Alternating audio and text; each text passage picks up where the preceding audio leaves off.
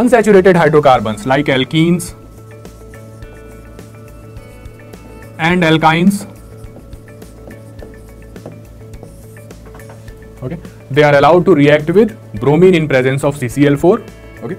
So this bromine is reddish brown in color and what will happen? That the mixture of bromine and CCl4 which is there these uh, alkanes and alkynes generally they are gaseous in nature so they are bubbled through the solution and what will happen? They will form vicinal dihalide suppose CH2 double bond CH2 is there and it is allowed to react with Br2 CCl4 okay? Now what will happen?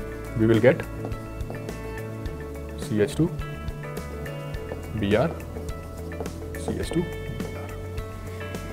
okay due to this reaction what will happen? The reddish brown color of the bromine will bromine CCl4 will disappear because these are white in nature white in nature. So the reddish brown color will disappear and you can easily distinguish between the compounds which are saturated or unsaturated. Okay generally alkene and alkynes can be separated can be distinguished from alkanes by this method.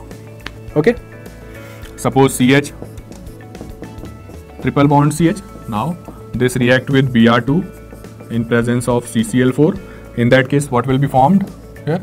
Ch br br ch br and so this will be the product formed and this test can be used to distinguish between alkanes, saturated hydrocarbons from unsaturated hydrocarbons. Let me tell you one thing that again this bromine in CCl4 they do not react with benzene because benzenes are aromatic compound and in case of aromatic compound there is extra stability for double bond okay so they are generally this test is generally viable for basically hydrocarbons only i hope this thing is clear to all of you. So that's all for today